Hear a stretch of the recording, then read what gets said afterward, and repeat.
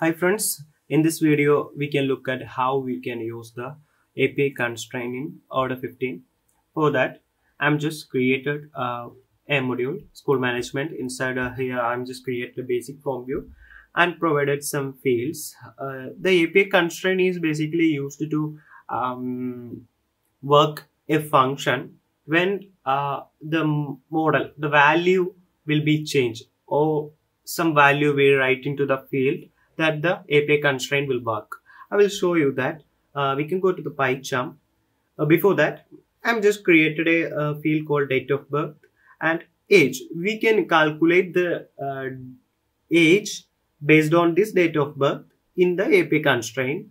We can go to the um, PyCharm and inside here you can see the DOB, date of birth. It's a date field and the age field is an integer field and I am just uh, added that in the API constraint. Uh, inside this API constraint, I am just provided that date of birth field and I'm just uh, written a function to calculate the age.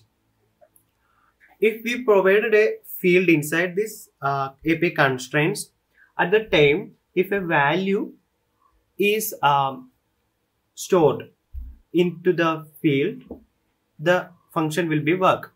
I will show you that. We can just rerun this. We can go to the um, we can create a new um, i'm just creating a new uh, student record uh, demo 2 student id 1 okay.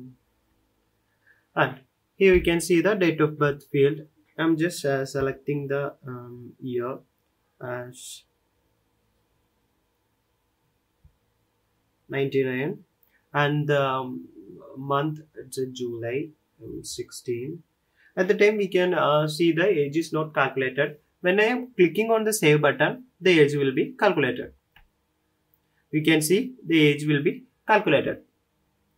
We can use the API constraints uh, like this. Um, we can uh, provide if we have multiple uh, fields we can provide inside this uh, constraints inside these constraints.